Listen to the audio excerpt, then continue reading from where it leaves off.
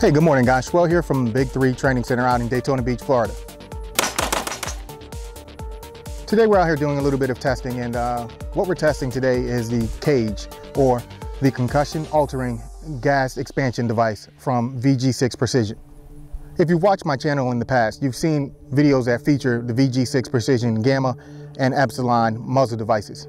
Well, the cage is something that works in conjunction with those two devices. If you've shot any of the newest muzzle brakes on the uh, market, you'll know from the side the concussion is unbearable most of the time.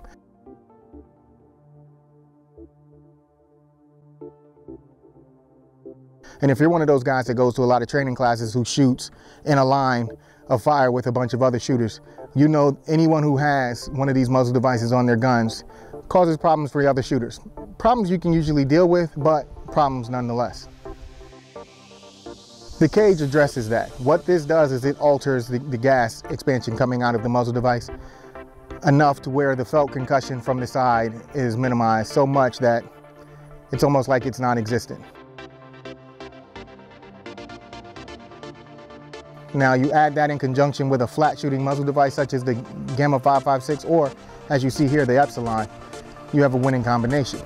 So when we're building these guns, we tend to bolt on as much stuff as we possibly can, and sometimes it gets out of hand. Well, this is one of those accessories that you bolt on that actually has a function, a pure function, not something that you are bolting on just to bolt it on.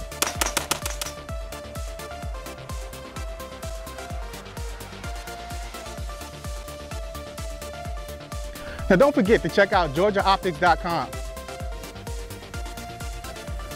for your optics needs. This is Shwell out at the Big 3 Training Center. That was the CEO. Later.